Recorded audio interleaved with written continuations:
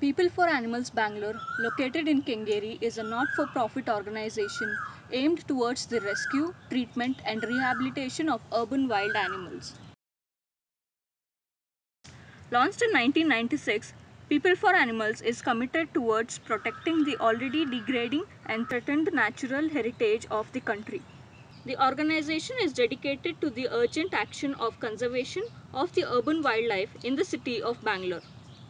Veterinarians at the Wildlife Hospital have come across several instances where an inhalant anesthesia machine could have profoundly shaped the outcome of the treatment. Even to this date, veterinarians manage with the injectable anesthesia to immobilize wild animals. It is not as effective as compared to the inhalant anesthesia machine. As Dr. Karthik, veterinarian at the Wildlife Hospital explains. The uh, most novel group of anesthetics which are used in today's world. Uh, they have a very wide margin of safety in comparison to injectable anesthetics. Injectable anesthetics are uh, mostly metabolized by the vital organs like either liver or the kidney, whereas in inhalant anesthetics, the anesthesia or the medicine has directly gone into the bloodstream from the lungs. So they'll basically bypass these vital organs. So any uh, any any trauma or any age-related problems with these organs are also not they do not interfere with the uh, absorption of the anesthetics.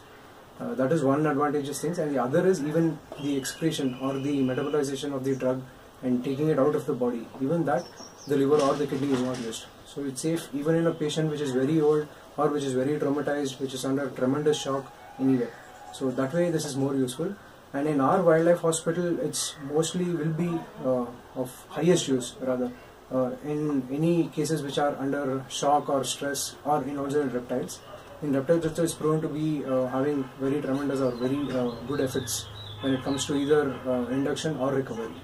A life can be saved by your generous contribution towards the procurement of inhalant anesthesia machine. Donate and help us save a life